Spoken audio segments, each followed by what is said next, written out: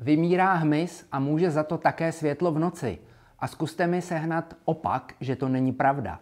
Když každý týden vyjde nějaká další nová zpráva o tom, jak světlo v noci vadí hmyzu. Tohle je z ekolistu. Za pouliční lampy s úsporným LED osvětlením nám noční hmyz nepoděkuje. No to nám teda nepoděkuje a už nám nepoděkoval, protože Německá studie ukázala, že za posledních 27 let vymizelo v přírodě v Evropě 75% biomasy létajícího hmyzu je v prčicích. Není prostě.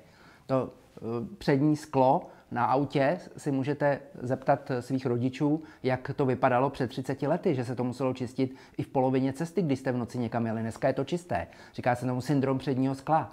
A hmyzu a všem ostatním eh, vadí v noci světlo my nemůžeme nadužívat bílé světlo jenom proto, aby jsme si vytvořili pocit bezpečí. Protože bezpečnost se rozhodně světlem v noci nevytváří, protože kdyby to tak bylo, tak by nemohly být nehody ve dne, protože to je světla dost a nemohly by být nehody v blízkosti polárního kruhu, kdež, když je astronomické léto, tak je tam světlo tisíc luxů i o, i o půlnoci.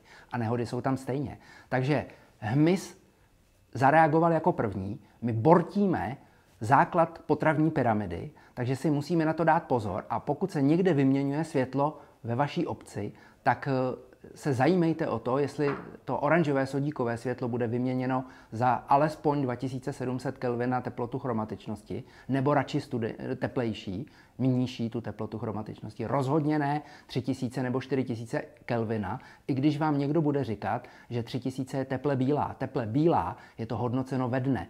I oko má cirkadiální rytmus a v noci potřebujeme svítit světlem, které neobsahuje modré spektrální složky, tak jako to bylo každou noc.